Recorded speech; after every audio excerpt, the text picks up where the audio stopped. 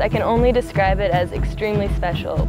You're waking up in the rainforest or waking up on the Galapagos Islands. You know that you're someplace that not a lot of people have been, and you know each day is going to be a different adventure.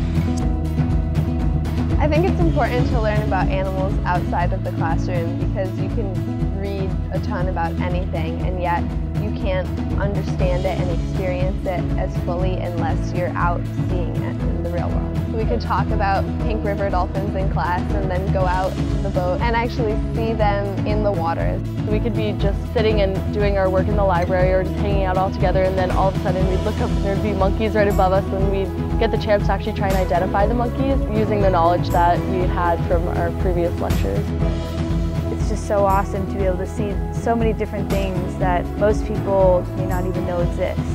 And you get to see them in real life. I think Broadreach's approach really helps to facilitate student growth because it asks students to challenge themselves. I never hiked before in my life and I managed to get up to the top of a mountain to watch a volcano erupt. Each challenge that they face and overcome adds to a larger bank of self-confidence that I can literally see grow in three weeks.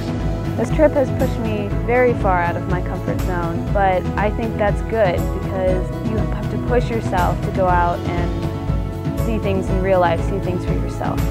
What Broadreach enables these students to do is see a world outside of what they know and see the importance that their decisions can have. It's important for our generation to learn about conservation and animal science because we are the next people. We are the ones who can actually make the changes and fix what has been broken. We want to be known as the generation who helped save the world, not the generation who hurt it more.